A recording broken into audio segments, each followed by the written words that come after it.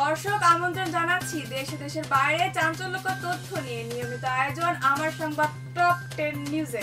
সাথে আছি আমি আশরাফি দিবা।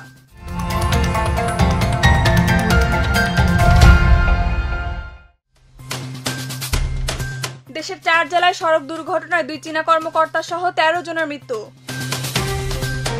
আফগানিস্তানের সরকার ব্যবস্থায় রাষ্ট্রপতি শপথ না নেওয়া পর্যন্ত বাংলাদেশ দেশটিকে স্বাগত জানাতে পারে না বলে মন্তব্য করেছেন পররাষ্ট্র প্রতিমন্ত্রী মোহাম্মদ শাহরিয়ার আলম।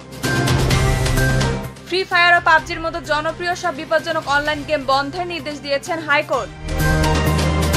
মিলাররা গোপন জায়গায় অবৈধভাবে চাল মজুত করছেন কিনা তা খতিয়ে দেখার জন্য গোয়েন্দা সংস্থাকে চিঠি দেওয়া হয়েছে বলে জানিয়েছেন খাদ্যমন্ত্রী সাধন চন্দ্র মজুমদার। আগস্টের পরে বঙ্গবন্ধু হত্যাকাণ্ডের কুশল বড়ার ক্ষমতাসীন হয়েছেন। সেই সময় আওয়ামী লীগের নেতৃবৃন্দকে নিয়েই নতুন মন্ত্রিসভা হয়েছিল বলে মন্তব্য করেছেন বিএনপি মহাসচিব মির্জা ফখরুল ইসলাম আলমগীর। চিত্রনায়িকা পরিমণির বিরুদ্ধে বনানী থানার মাদকদ্রব্য নিয়ন্ত্রণ আইনে করা মামলায় জামিনের আবেদন শুনানি বুধবার। তালেবানের কবজায় যাওয়া আফগানিস্তানের রাজধানী কাবুলে এখন পর্যন্ত নয় বাংলাদেশি থাকার তথ্য মিলেছে। সংখ্যাগরিষ্ঠ সংসদ সদস্য সমর্থন না পাওয়ায় অবশেষে পদত্যাগ করতে বাধ্য হয়েছেন মালয়েশিয়ার প্রধানমন্ত্রী Tan Sri Muhyiddin Yassin. Taliban Kabul দখল করে নেওয়ার পর দেশ ছাড়ার সময় কাবুল বিমানবন্দরে হুড়োহুড়িতে অন্তত পাঁচজন নিহত।